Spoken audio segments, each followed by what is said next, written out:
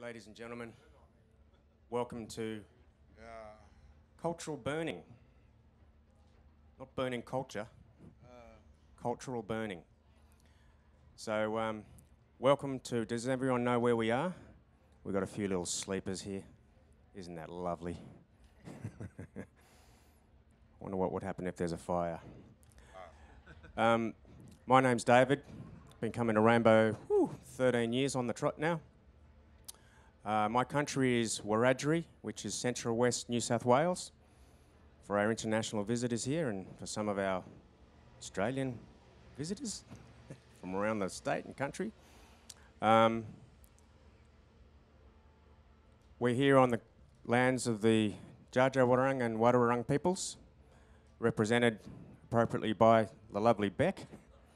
And I just want to say how amazing Beck is in bringing all the Indigenous inclusion components, philosophy, ideology, programming to this great festival. So, Beck, to you. Absolutely. Acknowledge Uncle Ben. We do have a few other panel members joining us, which is um, they'll just they'll drop in as um, as we evolve, and Rhys. So what we'll do is um, we've got an hour and a half with you, lovely people. Um, I'm just going to sort of uh, moderate this, which basically means I'm going to say my piece now and then shut up. We're going to start to talk about the concepts of cultural burning and how that influences but also meets, I guess, modern policy. Let's just put it that way. Um, and how we can, in a sense, uh, draw on these concepts and also differentiate between what cultural burning is and what it isn't, and also I think who owns that. So what we'll do is um, from left to right, we'll start our little introductions, and so I'll ask you all to just to introduce yourselves, who's your mob, who you are, what your interest here is, is in this, and um, we'll go take it from there.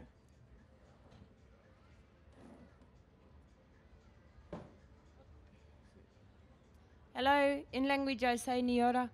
My name's Tammy and I'm a Wadawurrung woman.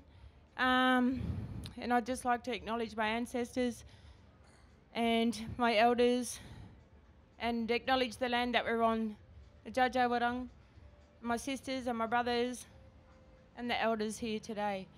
So, um, yeah, I, I might just pass it over to Beck and, um, yeah.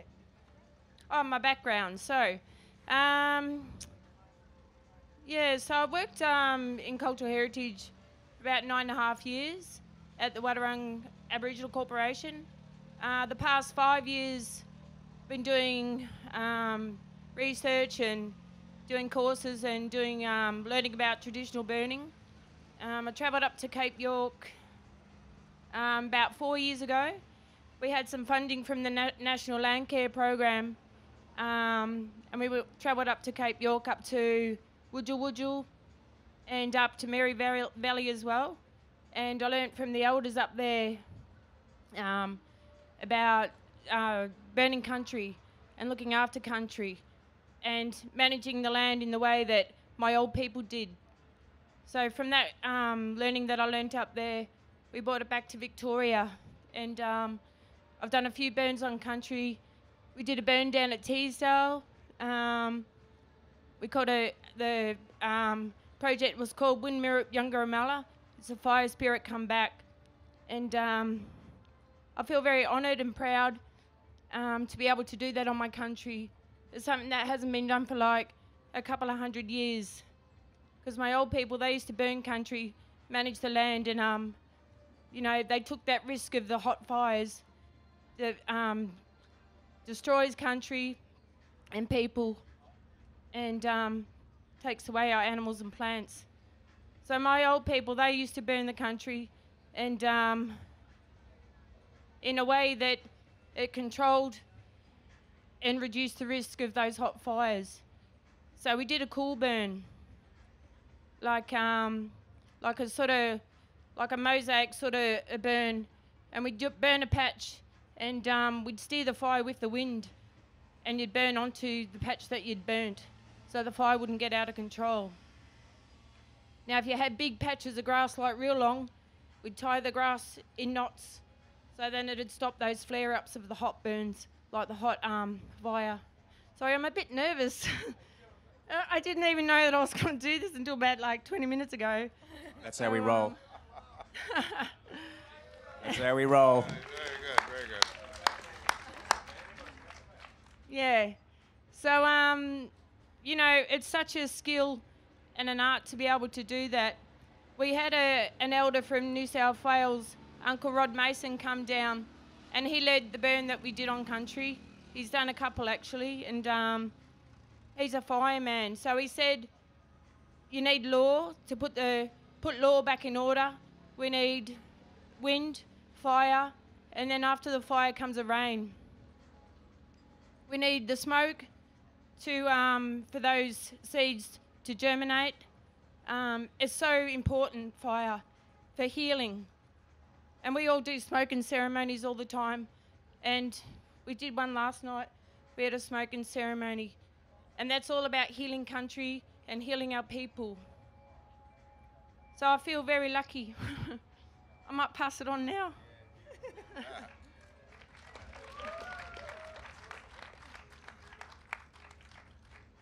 Yeah, do you want my fire hat? Good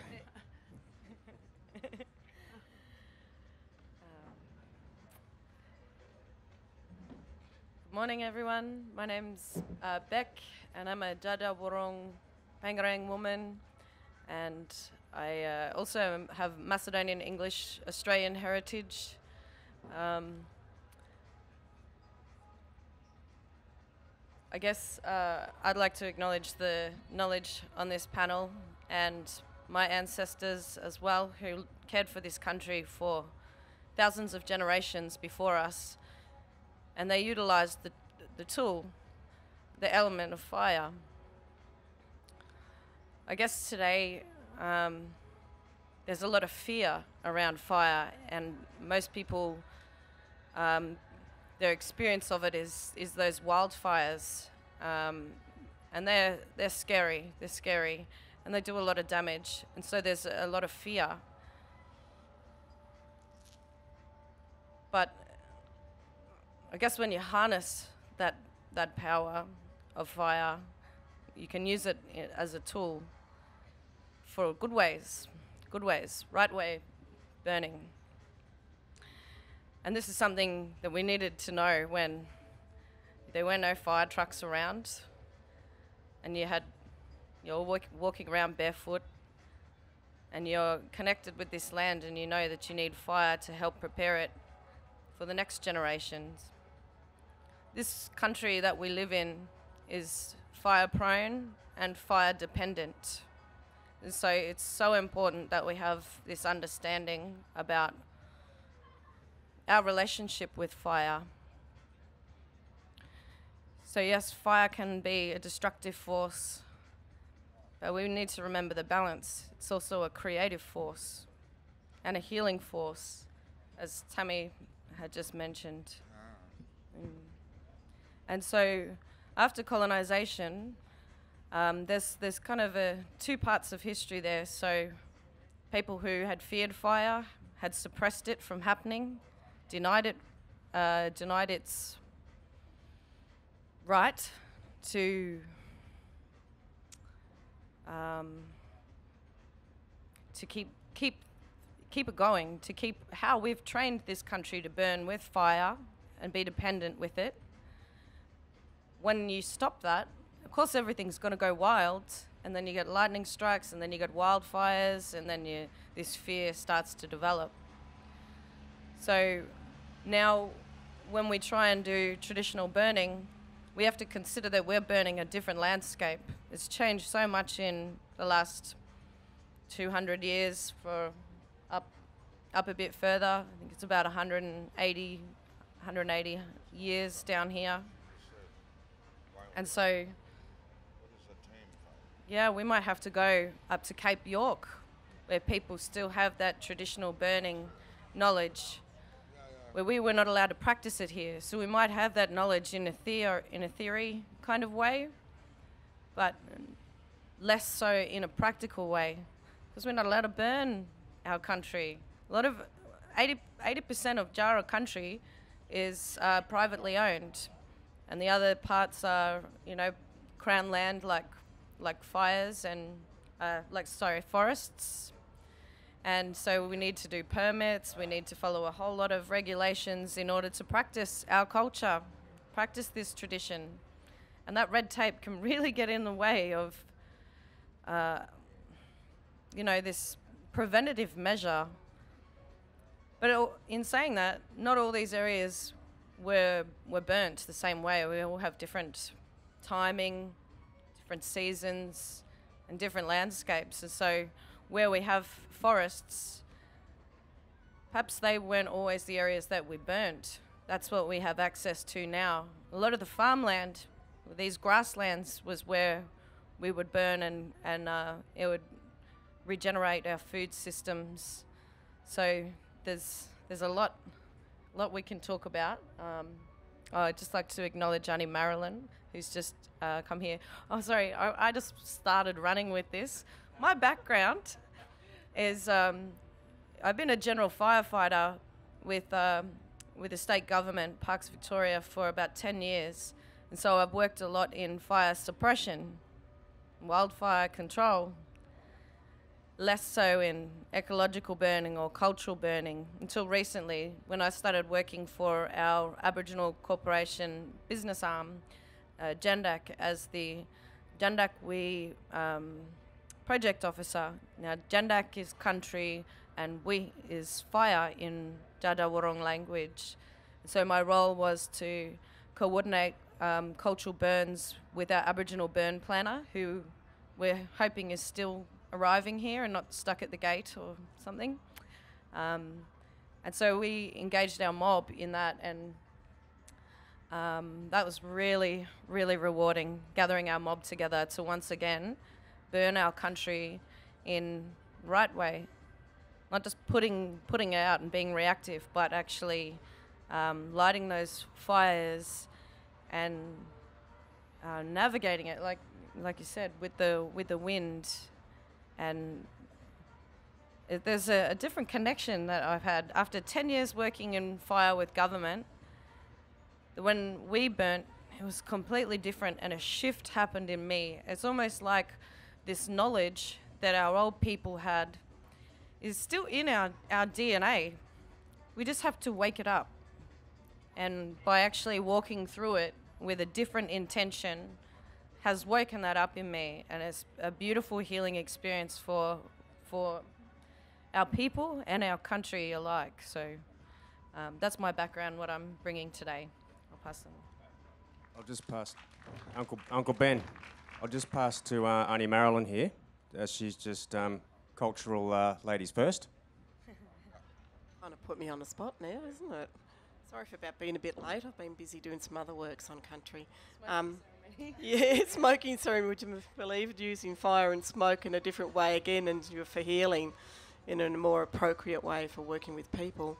Um, yeah, so I was working actually with with Beck um, in um, Djandak, and my or my project was with um, as a Kapagajam, which is water, and speaking for water and water and country. Um, but I had the opportunity to go out in country also to be, take, ta- take part in cultural burning as an elder and to see how it really works and um, also to work with other different groups of people, traditional owner groups that were neighbours to us and to see the changes in some of those um, people who had been on country with us, burning country. Um, some I had known for a long, long, long time since they were children and now adults with kids of their own and had problems of their own but once on country and burning landscape together in a, in a manner that we were in a team, it totally changed the atmosphere of who they were as peoples and how we work together. So culturally and spiritually, it does a really wonderful thing for um, our groups as well. Um, so for myself as an elder, being on country doing cultural burns, I was lucky enough to do the first match strike, and yet when we were kids, we were always told, "Don't mess with fire." Well, different thing when you're doing culture burns. It's totally, totally wonderful in a way it's not um, suppressed and more open to what it's about, as in where it's meant to be working with country and healing using smoke and for the landscape. So, yeah, and I'd like to just acknowledge the panel that's here too as well. Thank you.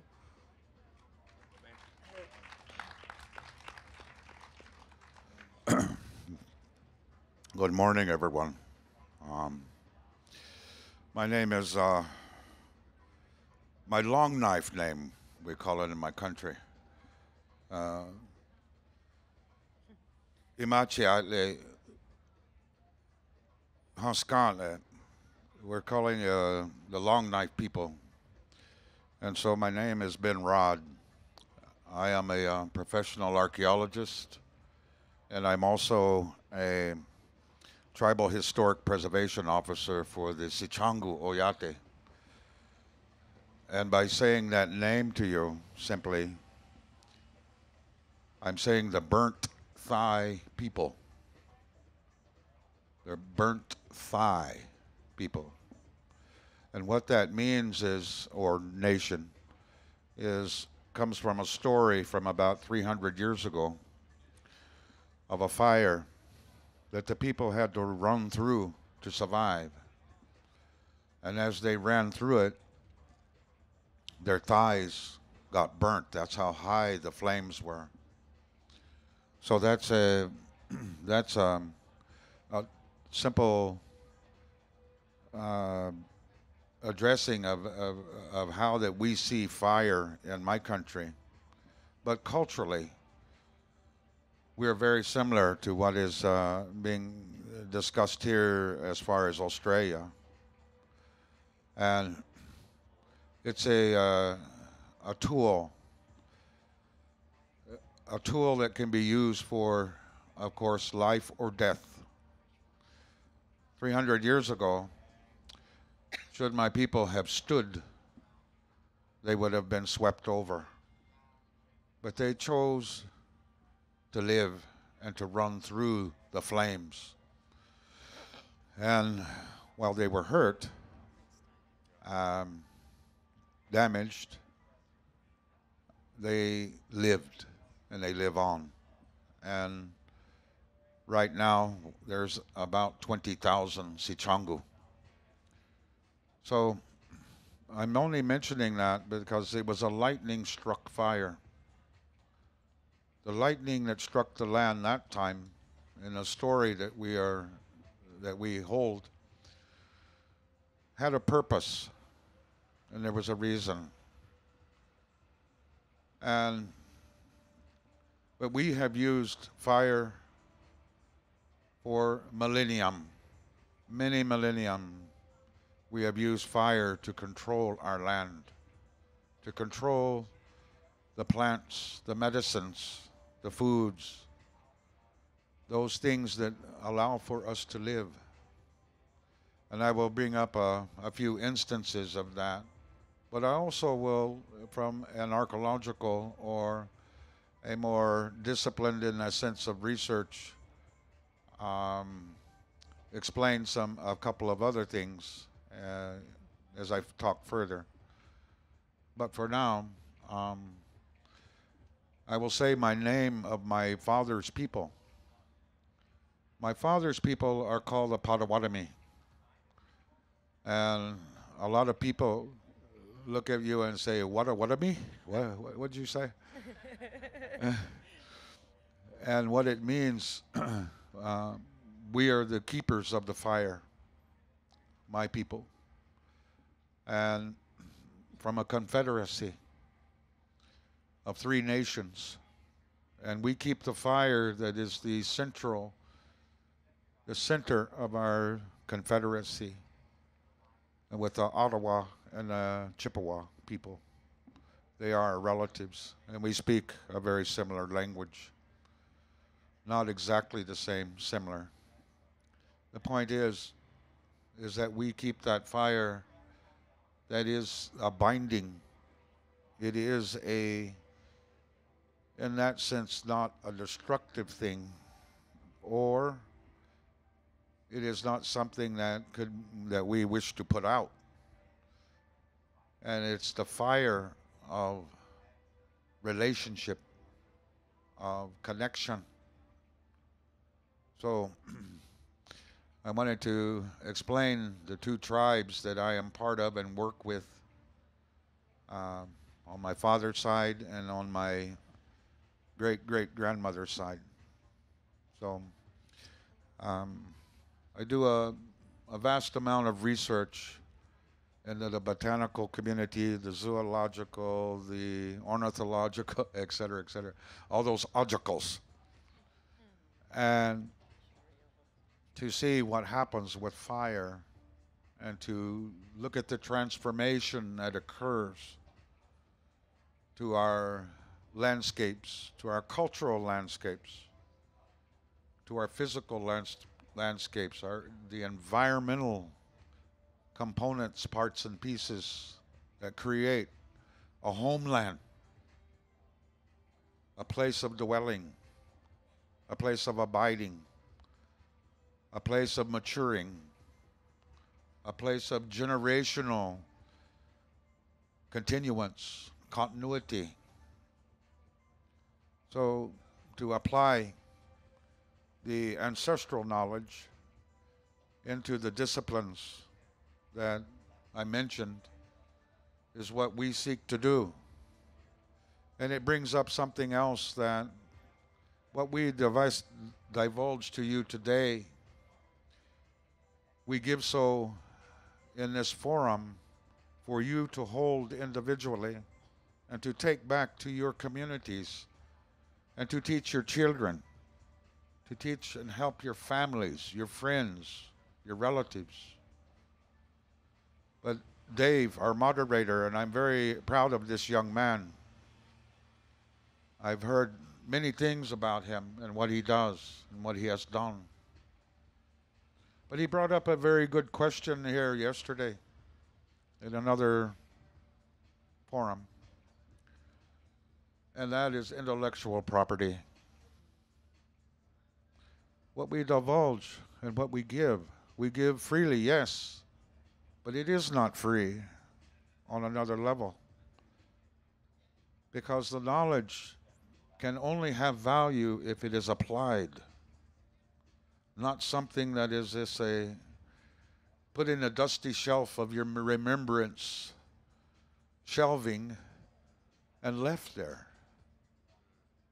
If you do not live it and become part of this land, not greater than it, not above it, but part of. That is what we are, I at least am encouraging you to do. And then that intellectual property, what we're speaking to, and what we may divulge yet, other panelists, is something that becomes part of your doctor, doctoral or your master's thesis. And as something that you will get acclaim and accolade for without giving homage or without giving accreditation to the people who over millenniums, hundreds, thousands of millennium, who earned this by experience, by observation, by replication.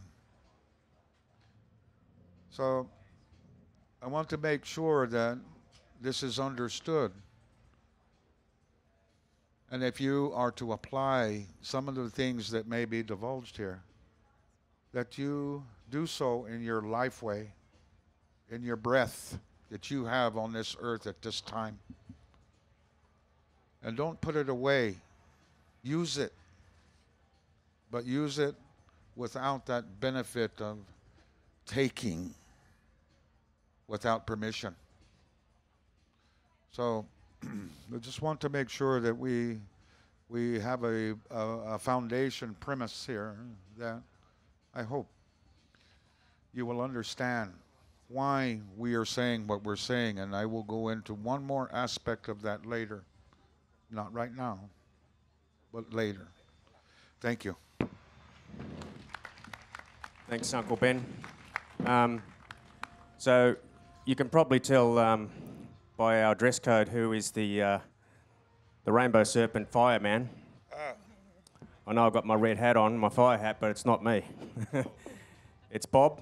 Um, so, just for those, uh, Bob is the uh, fire manager. Um, we've worked with Beck on country here, but also in her professional capacity too, I understand. Um, so we'll just follow with our introductions. Uh, I just want to sort of, some of the themes that you might be grabbing onto right now emerging is you see Western philosophy, they like to break things down, they like to isolate things. And you'll see themes from Indigenous knowledge the world over, and I actually think you, Uncle um, Ben, have just created a new clan, Okonology clan or something. What'd you say? Yeah. yeah, let's let's let's get that indigenous knowledge from around the world. Um, and those themes that are from nature, of which of course we all are. How did they? How did we know what they were doing over there, and we're doing the same thing here? Yeah. And these common denominators are coming through. So, um, also just on note, Uncle Bruce Pascoe will be here at two o'clock. And just what I've spoken about with all those beautiful themes, he gives you the most articulate, comprehensive, synergistic view of First Nations holistic perspective. So come and see that too without taking too much away from this one. All right, Bob, table's yours. Uh, thank you very much, and um, I uh, appreciate the invitation to take part in the, and participate in the panel. Uh, my name is Bob Barker. I am the fire commander for the Rainbow Serpent Festival. Um, I've been in this role for five years now, uh, and uh, whilst I'm the duty commander for the festival while it's actually in um, in, in operation, I'm also the um, uh, senior advisor on fire safety um, and fire sa- fire preparation um, for the festival throughout the year. Um, you'll, uh, I apologise for being late. Um, I have a number of people all trying to pull at my arms at the same time, um, and some of those things are, uh, are, are matters which have a very high priority. So I guess in advance, whilst I'm going to keep my fingers crossed, uh, I won't have to uh, um, absent myself from the from the panel. If I do, uh, please accept my apologies. Thanks, Bob. All right, Rhys, take the floor. Morning, everyone. Is this one good to hear? Yeah. um, thanks for the opportunity to come and talk today. Closer. Closer. Um, I'd like to thank both Dja Dja Wurrung and Wadawurrung communities for inviting us here and hosting us at this place. I haven't been here before, and um, it's been an excellent experience to come and bring my family along and enjoy the journey. So thanks and respects to everyone in your communities for supporting us here. Uh, my my background is I'm a Worimi person from New South Wales. I grew up on the mid north coast near Taree and Forster, and my heritage comes through my grandfather's line, and they've lived in the same place there since contact times in uh, around the 1840s, 1850s, 60s, so very early on. I've worked in Victoria now for nearly 20 years in roles to do with land, sea, water management, and um, see similarities in the the way things are managed and the way things work in New South Wales as to Victoria. So my my job role is to connect community members in Aboriginal community members um, through their representative bodies, whether they're um, land councils, which is common in New South Wales, or through the um, registered Aboriginal party structures of Victoria, and try and find out what type of work people want to do on country. And fire is a component of that, and it's becoming more and more important to have the right voice from the right people on country to work with fire. So, in my capacity as a government employee at the moment, I try and seek funding, find the right people, build a project that they want to do with the right people, and try and um, employ them to be out doing the work. And that's mostly um, difficult because the capacity of the and capability of people isn't always matching the task or the outcome you're trying to achieve. So at times it involves training and patience and um, trust that you can get to the, to an endpoint that matches the funding that you've um, sourced to start with. So, um, in terms of fire and relationships with communities here, I've been involved in helping people to find training places, and Tammy mentioned going to um, Cape York, and I, I think that's where my fire story started as well. Uh, traveling away to learn how to apply concepts and theories back to the place where you work. And a lot of people struggle to grasp how you can go to Cape York to learn how to burn on Wurrung country. And it, that's quite a closed minded perspective on uh, how fire is applied because it's about finding principles and systems that are similar in communities that aren't that far dissimilar and bringing the knowledge home and then remembering or learning or finding the way to apply it to your own country. So the National Indigenous Fire Workshop's been running for 11 years, initially out of Cape York and now last year near Nowra. And this year it'll be hosted in June by Yorta Yorta in the Barmah Forest. And that's where my link to the panel is. I'm replacing Oliver Costello that couldn't make it today. Oliver, Oliver and I bo- both sit as directors on the Firesticks Alliance, which is a collective of people that support community driven fire initiatives, look for and to seek funding, and then help people to put the right fire back into their country. And that fire workshop's open to the public and it'll be in June. Um, and if you Google for Firesticks, you can find it on their website. Uh, they're supporting community driven practice in Victoria.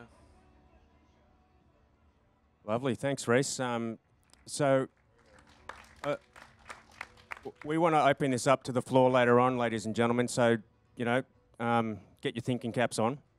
Um, and again, I, I sort of think there's some themes coming up here about, uh, you know, we're, when we're all, when we're better informed, we make better decisions. I don't think anyone can argue with that. And I think so. I think what we're seeing now is this important resurgence of uh, cultural knowledge, um, information, and how we can be more proactive in managing. And I think those are some of the key themes that are coming out um, in this conversation.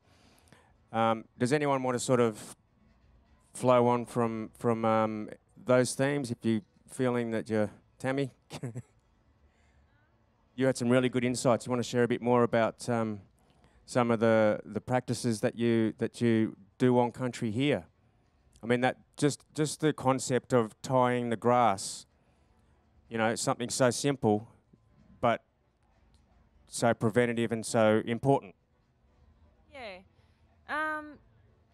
So yeah, when we were when we were out there looking at country, um, what I learnt is how to read country, and we always got told that if country looks sick, it needs healing. So that's where I guess um, you know my interest in fire began. Um, I just last year finished a study on our waters, our living waters, and um, throughout that project that we did, we uncovered some old language. We went into our, um, got some research documents out and um, uncovered a story about Jinap, the cockatoo.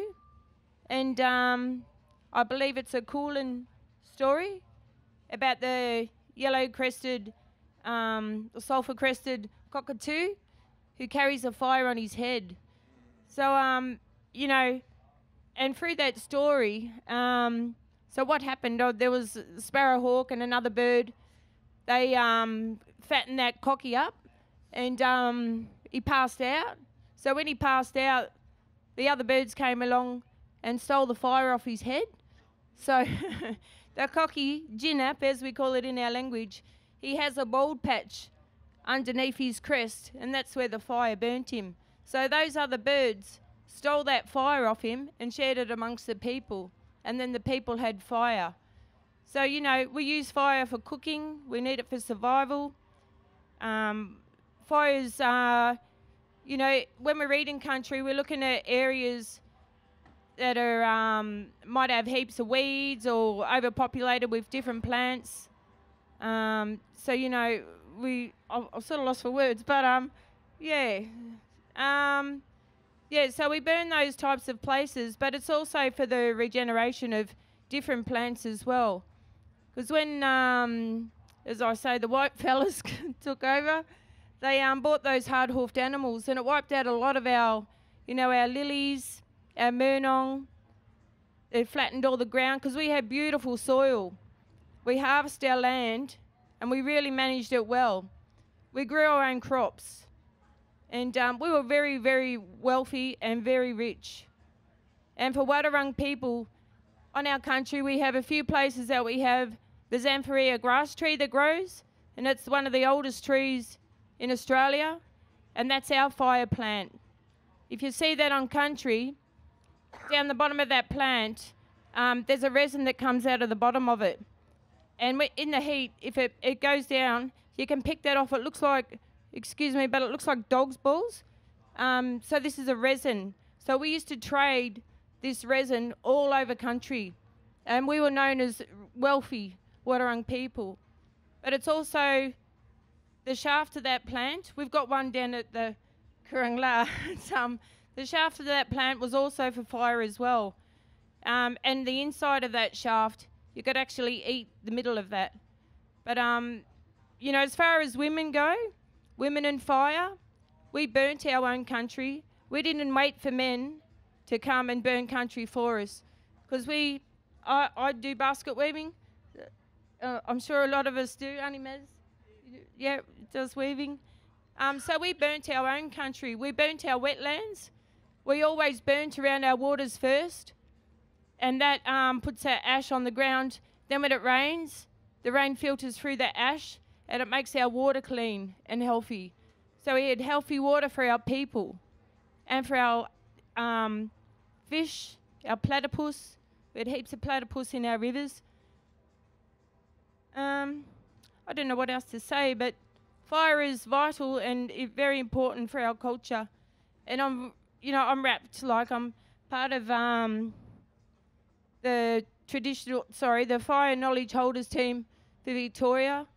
And um, there's a big mob of us, and um, we've now got a strategy out for traditional fire burning and we're also sharing our knowledge amongst all the mobs.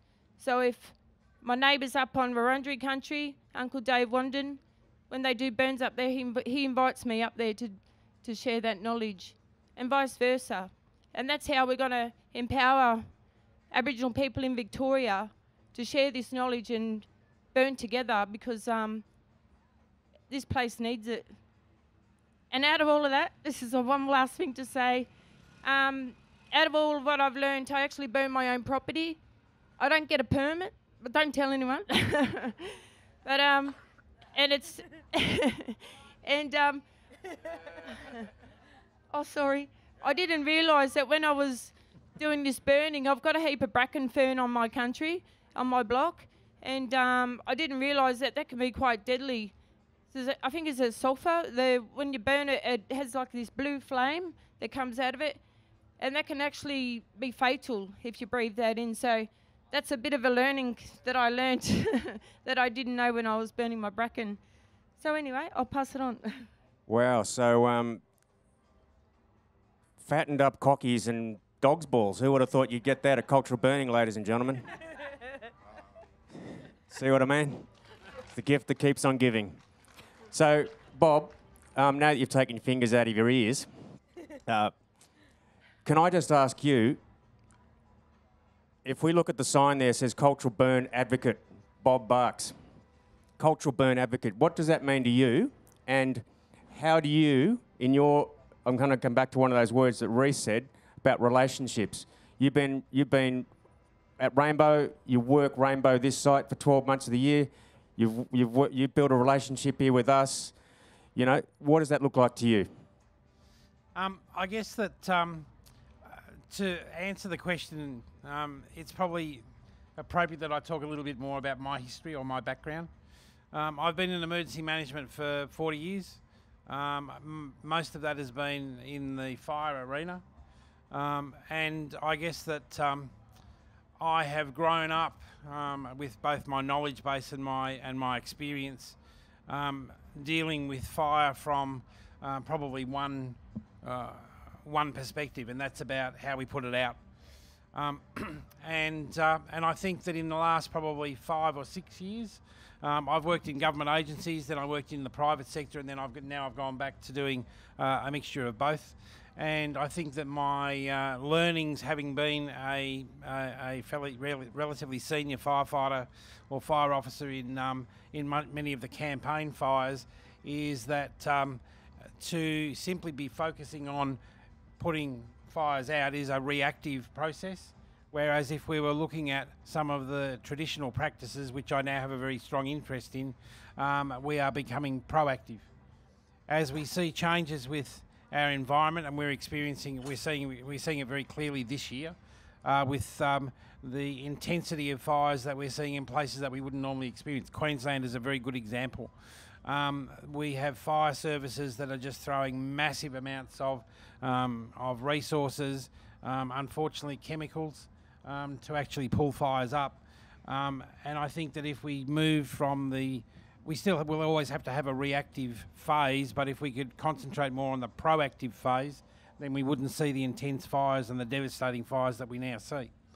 My interest, uh, I guess, has been stemmed from my um, my, and I'm very very fortunate and privileged to have worked very closely with uh, with the the mobs here, um, and uh, and I think that collaboratively. Uh, we have um, we have got pretty much a, a quite a good formula for how we deal with fire management uh, and fire safety as a as a as a pro, as a uh, a precursor to the Rainbow Festival on, Festival on this site. In that process, I have started to learn, and I'm continuing, and I'm probably going to come to your workshop um, about uh, about the our traditional burning techniques. I'm working in an environment now where, um, at a local government level, we're constantly looking at how we um, how we minimise the threat of uncontrolled fire or wildland fire to communities um, and townships. Um, we have uh, I, I sit on a couple of panels where um, uh, there is a lot of talk about spraying and slashing and those sorts of things. There is I'm not. I don't know. I don't, I don't want to use the f- the word fear, but I think that it's um, there is a very strong reluctance um, at those sorts of levels to embrace traditional burning. I think um, there are there, there's a bit of un, uh, unwarranted hysteria about if you go along lighting fires to people don't understand the benefit of lighting a fire to actually stop an uncontrolled fire, uh, and that's a pathway that I'm trying to um, change some attitudes and opinions in. Yeah, that's that's amazing, Bob. And um, do you bark when you say that? Sorry, I bite too. you bark and you bite. So I'm going to just throw before we go to Uncle Ben. I'm just going to throw to Rhys because um, so some key words coming out of there: manage, proactive, resourcing. Um, Rhys, you introduced yourself earlier. For those who have just walked in, you, in a sense, you manage that conversation, that relationship. We spoke earlier about, uh, you know, it's not just about the money, it's about sort of the resourcing. Uh, Bob just mentioned, you know, chemical management. So, do you want to just give a bit more perspective from your angle about how you actually make this work? Is there examples that you would like to share? Uh, you know, when Bob's just told us about the fear factor, do you do a pilot program? Do you do, you know, how does that, what does that look like to you? Yeah, well, uh, so I'm not a firefighter and I'm not a fire lighter for a professional purpose because I'm not on my country. That would be the role of those that are working on their own projects. I'm an enabler of projects, I suppose I'd say. Like, um, I try and seek the opportunity and then provide it where I can.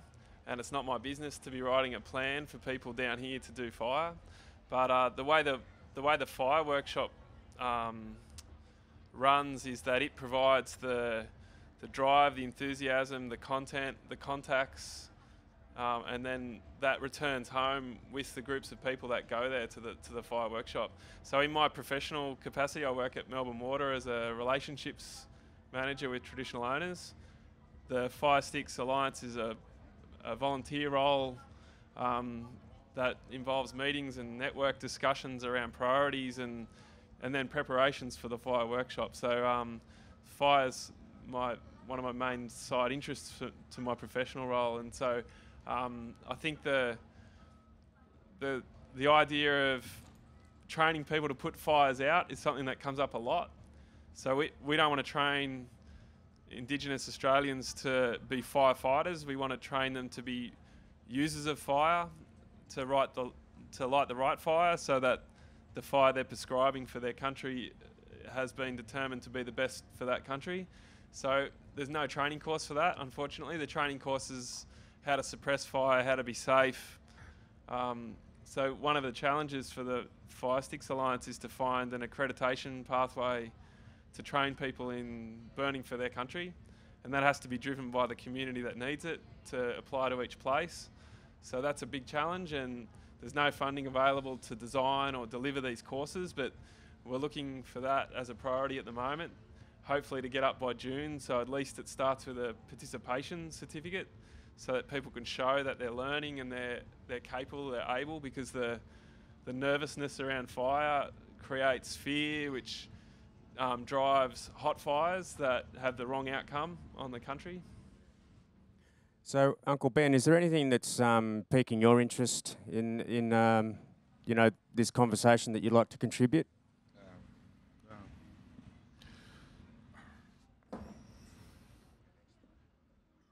About um, 8,000 years ago in my country, the, if you can picture in your mind a map of, of how North America looks, and you see down here the Baja on the southern tip of California, California, and over here on the other eastern and southeastern, you see Florida and Peninsula. And then you see the coastlines uh, on the west side that are, in many instances, very straight, and the eastern seaboard. Now, if you picture that, we have a rocky, uh, the Rocky Mountain. It's a mountainous chain that comes up over about two thirds. If we start from the east, about two thirds across the United States. To the east of the Rockies, at one time, was a vast forest. It was huge. I mean, covering over 1,800 miles forest. If you can imagine how huge that was. However, we as native, we, we, we speak to that time because what occurred was there was starvation that was occurring in the northeastern among our relatives northeastern part of the what you now would call the United States, or we say Kia Paha or Kia. It's uh, Turtle Land. And what we did, because we had plenty in the central portion of the United States, per se, and the plains.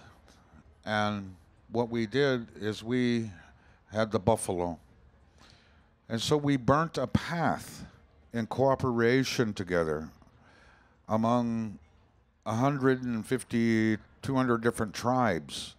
We worked together to burn a path from off the Central Plains all the way up into New York, up in the extreme northeastern part of the United States. We did this so that the buffalo would have grass and they followed it. It took, they said, one generation, only one generation for the buffalo, once the grass was established, to reach the northeastern United States, per se. So, we, we use that to assist one another. We use it as a management tool, if you want to call it that.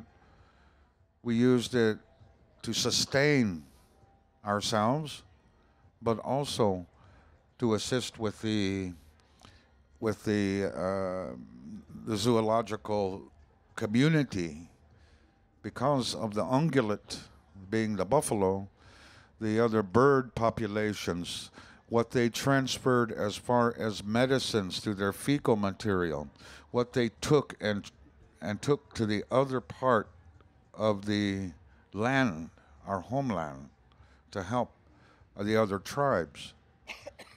In the northeast or northwest, on the Columbia, in the state of Washington, they used fire to control along the Columbia River, which is very, very um, central part of their for their sustaining of their people with the salmon. And so the salmon is an integral part of their of their mythology, of their history, of their culture, of their songs, of their customs. And when there is too much uh, deciduous tree that grow within the riparian, they had to modify this, and they used fire. Why did they use fire? Because of the bears. That's another part of it. Because the bears would come, and as they ate too much, too much salmon, their fecal material became high, which is highly acidic, damaged the landscape of the riparian. So anyway, it they had to burn and control that to the degree that it allowed for the bears to continue to have a to be able to come, but the people were able to then, re, of course, net the salmon, the salmon. So we utilize fire as that to sustain, and now today we are using fire because of the intrusive plant communities that have come from the agri- agricultural community of uh, seeds that have come in and they slip through, per se. How many of you know what a tumbleweed looks like? Have you ever watched the westerns in the United States and you see the cowboy ride into town and the tumbleweed goes blowing across? No. Sorry. Uh, because those those movies are supposed to portray 1850, 1880, whatever, whatever. The tumbleweed was introduced in 1937 in our sister state, North Dakota. It came in from the Ukraine in a bag of seed. For I, I, I forgot which seed it was. I can't remember. It was um, I can't remember but it came in and it has started to establish itself. Russian thistle is what it is called. And it quickly, very quickly spread within our landscape and our homeland. And so now we have to use fire as a tool rather because we, we see this as culturally appropriate rather than using chemical. How many of you go along the, the roads here in your own in Australia? And I don't know if they do it here, but if, if they do, the same as we do in the United States, you see them going along with torches. And they're burning the intrusive weeds, per se. And so it's a management there. And I don't know if you do that here, rather than a chemical using some type of herbicide that would control those, those intrusive weeds or those intrusive plants. Every plant has a purpose, yes. We know that as native and indigenous peoples. Every single plant has a purpose. However, for every plant that may bring harm to you, there is another plant that is growing near that that is the antidote. That is nature.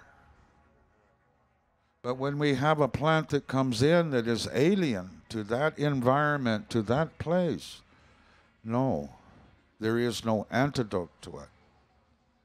So we look at the we look at it in a sustainability of the control of our landscape so that those animals, those plants, those uh, insects, those ants, the bees, everything that relies upon those plant communities that are indigenous to that land, that they shall remain healthy, that they shall remain viable. Yes, I agree. Nothing is static in nature. My relative sitting here and I had a conversation about that yesterday. Nature is always in flux. So it never is static, it never stops. It's dynamic. We, as indigenous, as an aboriginal, we have to be a, a part of that sustainability and use this tool wisely in a form that will not be that fear based. It will not be that that which makes us afraid. We can do we we can use it. We have to use it. I was looking at that hill as we're sitting here and I'm thinking of all the all the life that's up there. And those in that forbs and the small the shrubberies and and and trees, the plants. Everything that you need is there to help you. But it's how that you manage it.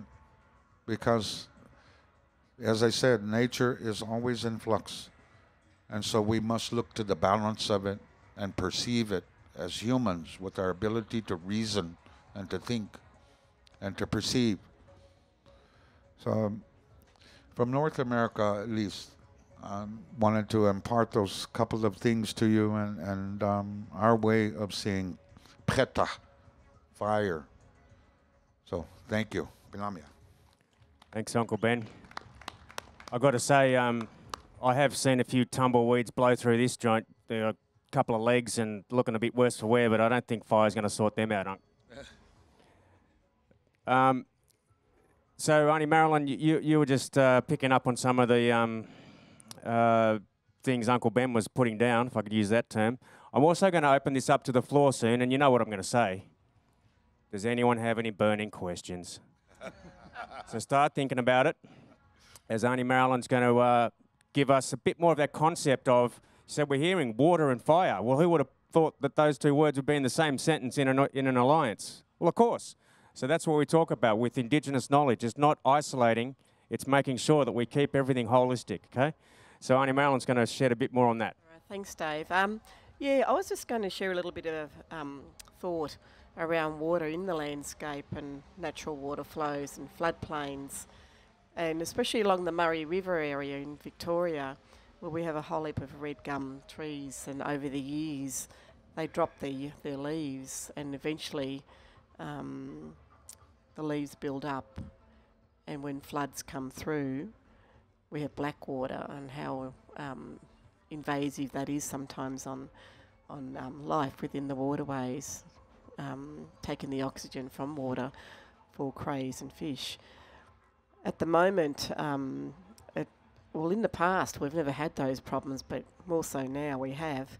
And the other day I was talking to our local parks ranger along the riverway in Swan Hill where I live and asking about can we introduce cultural burns somewhere along the line um, because what our local government water body wanted to do was to build some kind of huge raised levee bank right around the red gum area so that when it we put environmental water in, the water would stay in and wouldn't flow out into the rivers. So there's lots and lots of different things that have happened over the years that we are now trying to find solutions to that if things would have been left naturally would have been okay. Um, yeah, so we're still working our head around how we're going to do this, but for me, it's a matter of trying to fix years and years and years of neglected land, landscape around the waterways and um, to clear some of the gum leaves so we don't have the tannin build up and so that water doesn't go back into the river systems and we don't have the life in the waterways that um, lack the oxygen and then die. Um, for those that don't know what tannin is, it's it's actually um, it's built up from gum leaves, and the gum leaves get thicker and thicker in on the forest floor, and it holds a lot of chemicals in it, natural chemicals. So in years gone by, when the water's naturally flooded, without dams and weirs and that blocking our natural water flows and the controls that we have over water now, um, these would wash down and automatically they weren't a, a pest within the river systems. So the build up over the years has become quite destructive.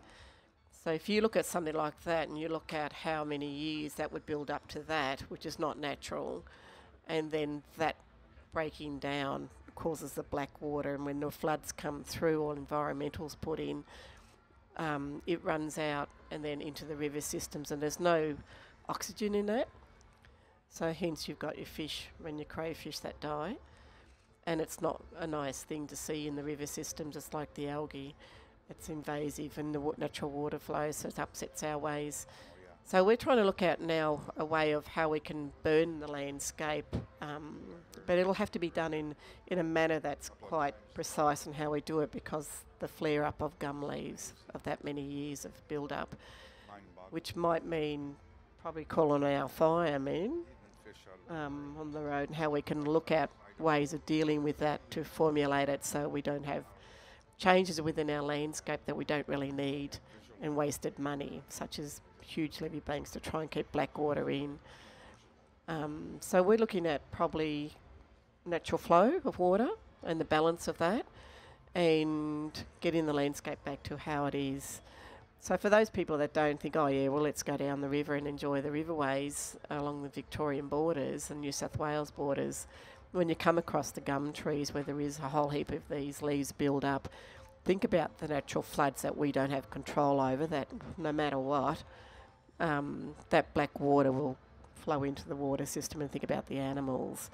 So it's an imbalance, is what I'm trying to say. And how do we get back to the reality of building something that's normal again? Yeah. So um, the moral of that is, yeah, yeah again, bringing the whole perspective. Uh, Mother Nature, sort of, in a sense, always finds a way, but but we we have to also help manage that process so those toxins don't come in. Um, and then you build up there. So look, there's a. It's um. Can I just get? A, does anyone have a question? Because I know it's, it's important. All right. So look, we we got here till one o'clock. So is the panel okay if we open up to questions? Because I think it's important to yeah. Or has anyone got any pressing that they want to share? I'm just going to go and dance in between these succulents. That's these succulents, not, not, not you guys. All right. Uncle Phil, oh, because you were on the panel yesterday. Oh, you got the. Yeah, right. Okay, cool. Yeah, uh, look, I'd like to commend you for uh, for your, your participating on the panel and sharing your, your knowledge with us. I, I get a, a lot out of these things, but um, the, I've got a million and one questions, but I'll try and restrict it to one.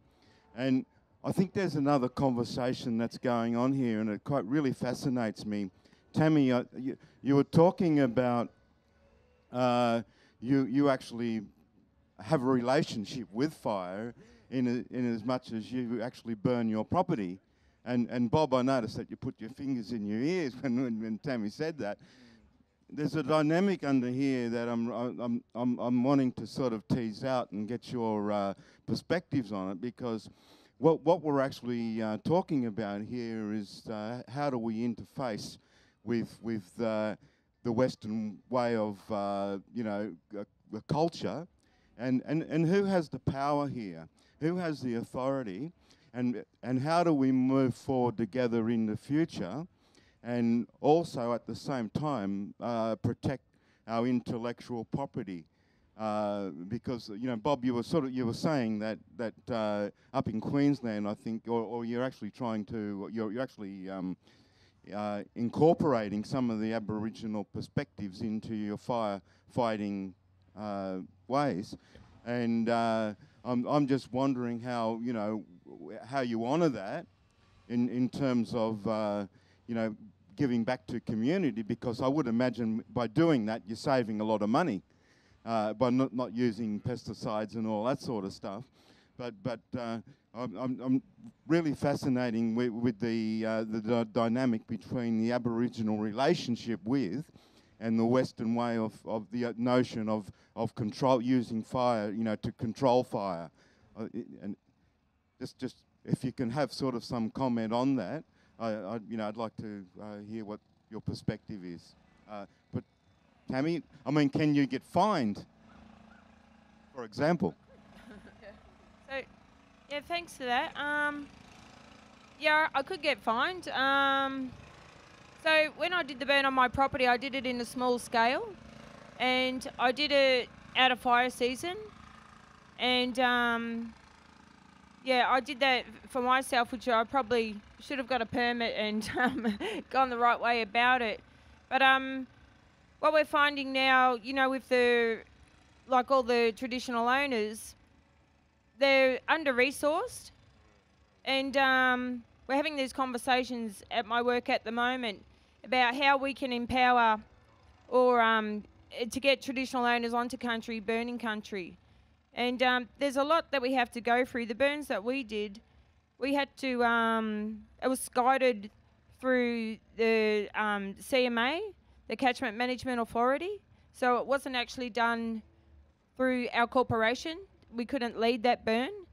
Um, we needed help, and we had a lot of stakeholders in there to help us. The CFA, um, there was DELP, and Parks Victoria. So it's yeah, it's it's quite difficult to actually to um, for the traditional owners to do a burn. I know Beck might want to speak about Dja Dja Wurrung and where they are at the moment with their burning because they're quite quite different to Wadawurrung. I- Is that okay if you? speak? yeah. Um, unless you wanted to say something. Um, I just, I just want to clarify something first, though. I wasn't aware that you needed a permit to burn your private property. There are a lot of farmers out there that burn their properties, and that's been intergenerational knowledge that they got from our people uh, back when they were first settling on the land. Um, so I doubt the law can actually tell you, tell farmers one thing and us another thing. I think that in a legislative way, it's just burning burning off. Um, so I don't think you need to worry and or block your ears. Uh, of course, unless it's a total fire ban, it would I, just be. I, can, I can actually talk to this. yeah. Okay. Cool. Yeah. Um, I, I can talk to this in, in relation to what happens in Victoria. Um, in um, uh, there is legislation in place in um, most local government environments, so your council areas, uh, they will have a, uh, a local law which um, requires you to get a permit to burn outside of the fire danger period. Um, and uh, the exception to that will be if it's on um, what we call agricultural size uh, properties or if, or if it's for agricultural purposes. But in most uh, councils, they require you to get a permit for uh, any sort of other burning on any other property. Um, during the fire danger period, there are um, requirements under the under the state's Country Fire Authority Act to get a permit to burn, um, and there are restrictions that are imposed on that. Those permits actually extend not only to anyone that wants to burn, but also for agricultural purposes. So, uh, leading into um, late February, early March, where the farmers who have harvested have stubble, they need to apply for a permit to do a stubble burn uh, and uh, that will stay in force until the end of the fire danger period. Um, so I can imagine exactly uh, the, the the dilemmas that um, people face when they want to burn their own property. If I can just uh, say two things, and one is that um, there's been a number of comments made about uh, um, about roadside burning. We are doing uh, that is being done in this state, um, but historically we used to do a lot of it. Um, and I don't say when I say we, I don't mean me, and I'm not talking on behalf of any agency or any particular body, but um, from experience. So we used to do regular roadside burning. For some reason, that's the, the, the, there was a decision made to stop doing that, um, and it's only probably in the last five years that it's actually starting to re to be reintroduced. My personal view is that um, roadside burning should be the pr- the primary method that we use for fire prevention because they're at I, I think everyone would agree that at um, at government levels now it's all about fire prevention, fire prevention, fire prevention, and the onus is moving away from um, institutional. Uh, works and making people feel that they're more that they're responsible for their own uh, for their for their own particular situation.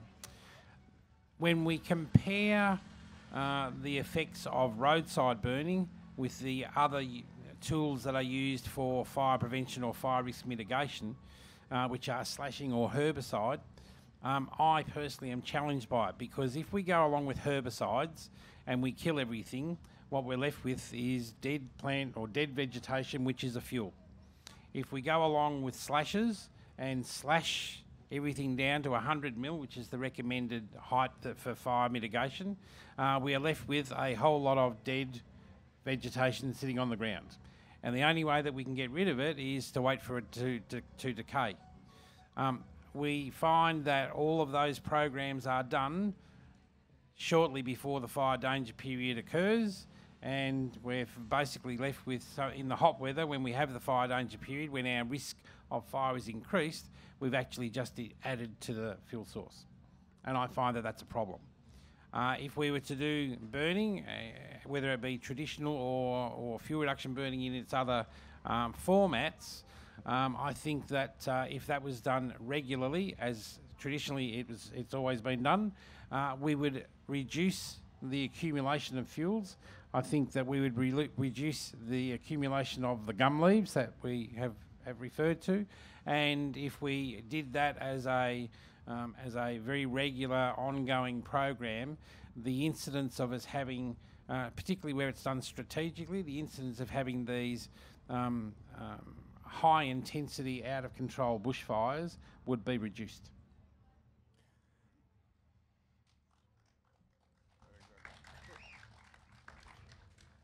Thanks for clarifying that. Um, I just wanted to go back to what uh, your question was about originally. Um,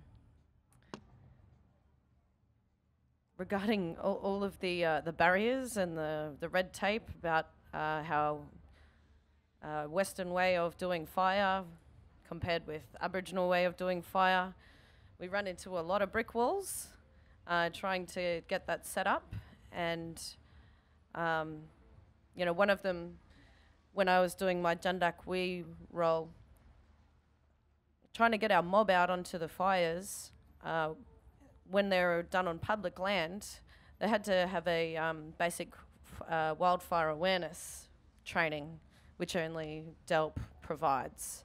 So to get our mob along to that, and then receive their certificates, they can go and be uh, at the fire but they can't participate. In order to participate, you then have to go and get general uh, firefighter, fighter, general firefighter training to be able to and wear all the uniform and follow all these things, and it's and that's uh, that's hard for our mob to uh, to comprehend uh, when you come from a, a long line of, of fire keepers, law holders, and um, practitioners and all of a sudden we need all of these things that we have to kind of beg government for a place or the training to be able to participate in that. Um, and I'm only speaking uh, on behalf of myself and my experience here because I do work for a government agency. I'm not representing any of their views on this.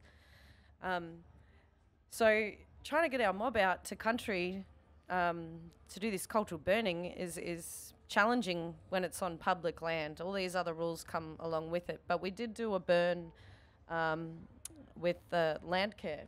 Is it Landcare property, Nadu Hills? Yeah. So Landcare have been working with us too. They are very open to uh, what what our burning techniques can do, different way of managing land. Uh, they're probably a little bit under resourced as well and um, want to engage with us. And so we did a, a cultural burnout at Nadu Hills, and because that's private property, um, all of our mob could come along. And you know, the government agency did provide a lot of safety um, equipment and um, PPE for us, personal protective equipment, and uh, yeah, jargon. Um, and the fire truck, CFA came out, but um, you know, the, I think the key points I want to talk about this is that um, in working together like this, we're, we're teaching each other. We're teaching each other that you can be too far this way with all these rules and things, which we understand um, need to be done from a, a, a government agency kind of way, all these policies and procedures of how, you know, to protect people. But, you know, our, our law is what, what protected us too. So, you know, um, doing a cross cultural awareness to our fire people in the government agencies, and we're doing a, a smoking ceremony, and they're like, they were freaking out. They're going, oh my God, oh my God, you know, you shouldn't be doing it right here, and you shouldn't, uh, you know, they were just really uneasy while we're trying to, to do a smoking ceremony and teach them about it. And I thought, well, actually, this is great. We'll use this. Now, I understand you have fires, they've got to be regulated, they've got to be, uh, you know, dug in a pit like this, they've got to be three meters away from a tree, three, me- you know, all of this stuff. But we are very capable with fire, and this is a cultural fire, so um, just chill out a little bit and we'll explain it. Because so many people have done stupid things with fire because they haven't learnt about it. Our law uh, makes people very competent in in uh, just them being themselves. They've learnt about how the laws and rules around uh, safe fire, ceremonial fire, cooking fire, all these things. And so uh, we didn't really have any stupid fires.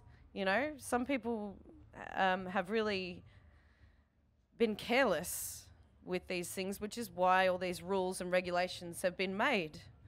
But they apply to everyone. Not everyone is silly with fire, and so that's challenging for us. Um, being, you know, and it's not a it's not a black or white thing, but us all being painted with the same brush when there are different levels of understanding about working with fire. And so we play along by these rules. We go and do these courses so that we can actually um, continue our traditions of practicing uh, cultural fire management. And, you know, it was, it was actually a relief to just do it on public land. And um, I guess I wanted to touch on a story too. Um, as Tammy, Tammy spoke about Jinnup, the cockatoo, um, we, we also have another story about the bringers of fire, and I think we have a, a really good representation for you here because a lot of a lot of time people think, oh, fire's men's business. Well, no, and we've got three uh, women up here working fire, a good balance. But we were the first keepers of the fire, the women, in this story. In a time of the dreaming, um, there began to be too many snakes around. And so Bunjil had sent down the seven sisters, his daughters, down with their digging sticks. And they were down here cracking them uh, to bring down the numbers of them. And then one time, one big crack, and that gani, that digging stick, broke, and the fire came out of there. And so they carried the fire. Um, they carried the fire for a for a long while, and they protected it until Wah, the raven, the crow, had seen the smoke and was really curious, and so he came flying in and circling it.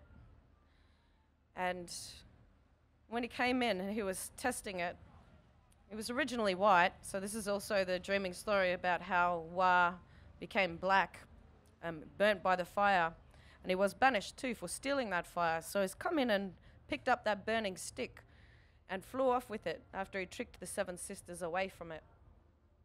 And then he's dropped that fire, that fire stick further away from country. So in this dreaming story, all of our dreaming stories, they have lessons in it. Um, and this one is obviously to uh, to not steal. You get burnt, um, and you get banished.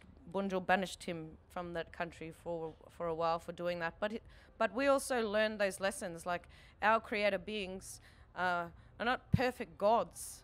You know, they made mistakes and um, they're very human-like in that sense too. We're not perfect. We make mistakes, but we have these stories to have learnt from them. And so, in, by Wah dropping the fire stick off in other places, he taught us about cultural burning, that mosaic burning, in patch burning. So, another part of that story is we call uh, the seven sisters Kajika. Kajaka is uh, the corellas in our language. And after our burn out at Nadu Hills there, um, we come back two weeks later and, you know, we usually get the firebirds that start circling around while we do it. We didn't get any at this site, which was very interesting. The next burn we did, there was like 60 of them all flying around. But in this particular place, we came back there and the corellas had been digging up uh, just the areas where we'd burnt. So there'd been onion grass, which is non, non-native, and they never touched it before. As soon as we burnt that area, they'd come in and they'd dug up all, they've, uh, you know, lightened that soil, lifted it, turned it up, and removed this weed for us, which is a lot like our digging sticks, isn't it? How we work the land. So Kajaka had come down and turned over the soil. Our uh, yams, our yam sticks, and our burning is all interrelated with this dreaming, and we got to witness that because we managed to get around all the bureaucracy stopping us from practicing our fire. Oh, Beck, you just have a way of telling a beautiful story. Thank you so much. Yeah. Always so um, endearing, and uh, I could listen to you read the phone book. Um, brother, I, I- just one little thing. I'm just, yeah, we've got you. Um, just Aunty Marilyne just wants to um, uh, flow on from that a little bit, and uh, I've given her the, the shot clock, and then we're going to come to you. Yeah, thanks for being so patient. I won't be so long. I was just going to share within that red gum area along that riverway too, and along many of our riverways, we have cooking mounds, and um, they've been without fire for so long now because of many restrictions on how we use those archaeological sites. They're now called, but some of those are ten thousand years, so that's ten thousand years of fire. Um, so just sort of a little bit of an indicator to think about how far back we've been using fire for how long as well. All right, thanks for your patience. Um, Russell Coit, sorry. How you going? Um, thanks all for sharing. Um, my story for well, the question I have for you is a little closer to home. I was part of or took part in a ceremony down here with an Indigenous man doing a decolonisation didgeridoo healing workshop, and he started to do the smoke circle and was promptly sort of told by officials or managers there that if he wasn't to put it out, he would lose his, they would lose their job. So there was a lot of pressure from there coming and I instantly sort of thought that that was quite disrespectful eh, with what we were touching on before, in that the Indigenous c- have had thousands of years of using fire, and he was obviously very versed in using that fire. Um, and for something like that to happen here, where I feel like we're embracing Indigenous cultures, um, it sort of took me a bit off guard. So I was just wondering if maybe someone might be able to comment on that. Yeah. Okay, so we've got five minutes to Okay. go. Yeah, thank I'll you for your question. I'll handle this one quickly. So, uh, Bob and I have a good relationship here. For us to practice um, cultural burning and smoking uh, ceremonies here, I have to apply for a cultural fire permit. And that's, uh, yeah, I know, I know, but it's for total fire ban days where we can still have a manageable fire for ceremonial purpose only. So uh, I need to know, all my mob down in the Karangla know, um, for any, any burning, any fires, uh, they need to let me know because I am the permit holder. Then I can let CFA know, and then it's all good. They're okay with that. So if uh, this man had have uh, touched base with the traditional people of the area here, we could have had that sorted. Yeah. Bob, do you want to talk to that a bit? Um, yeah, just very briefly, I'm I'm not um, uh, a, on this side uh, an officer of the CFA. Uh, the um, it's quite a complicated set of bureaucracy that we deal with here. But when the festival is on and leading into the festival, I am re- I am deemed to be the fire commander, and I'm responsible for all matters to do with fire management on the site. Um, I was um, prompted when I was thinking uh, earlier on about some comments being made. I have worked with fire and studied fire management all my life. I don't know anything else pretty much. I have learnt more in the last five years through my relationship with Rebecca and uh, and the mob um, than I've probably learnt in 40 years. Uh, and I continue to do that. Yeah, I, clap that up. I, and I am one of, well, I'd like to think, I think it says up here. Advocate. I'm a cultural burn advocate. I think that's a title that I, um, I am extremely humbled to um, be associated with. I am, I am a strong personal advocate of cultural burning at every level and every application. Um, I was aware, I became aware um, a couple of days ago, about, ago when some of the cultural burning was being done, smoking, um, smoking activities were being done, and that there were some people on the staff here that uh, of the festival that were going, oh, they're burning on a total fireban day. Uh, and I had issued a, uh, a blanket direction that there was no challenges to be made. I knew everything that was being done. That's not because of bureaucracy. That's because of a relationship of where we that where we talk. I think that the whole issue about um, about fire, how we manage it, how we use it as a tool, and how we value it as a resource is something that is all thrown askew at the moment because we've stopped talking. And I think we need to reopen the conversation lines across all generations, all cultures, and hopefully work together to bring um, fire back to its proper place where it is a tool and a resource that we use um, appropriately for the benefit of all. Bob. So well said. And again, I'm just going to focus on that word, the relationship word. You know, um, it's so important. Everything starts just from a conversation, and then we all know that we've got to be champions and advocates in this space. Um, and you couldn't have said it any better. So um, thank you for taking on that that that role um, because it is really important. So look, we've only got a couple more minutes here. I'm just going to finish by also saying, and maybe this could be something we think about next year, is there is also an economic gain. So we all know that there is, uh, you know, carbon um, offset opportunities. So when we talk about mobs up north and maybe even mobs here um, that manage lands, and we have global cities very close, we're two hours away from a global city, Melbourne that fire land management can actually be an economic resource for local mobs, either land councils or, or, or the registered Aboriginal parties. Because that sequestration, when global cities make a commitment to reduce their carbon footprint, there is a synergy in there. So that's a, that's a big topic, and maybe we can look at that, that next year. Um, but I want to thank the, the panel. Uh, Uncle Ben's got 30 seconds to just Thank round you. up. Thank you. In this 30 seconds, of, uh, something that, that came to my mind as we were sitting here and I was listening to the other panelists, and something that Dave just said. I'm going to be probably, I'm hoping, working toward it. In about three weeks, and John's been down there, we've been in Panama and with the indigenous from out of South America.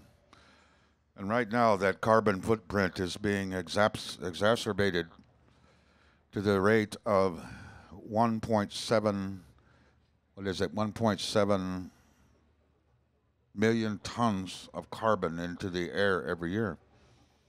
Why? Because of burning.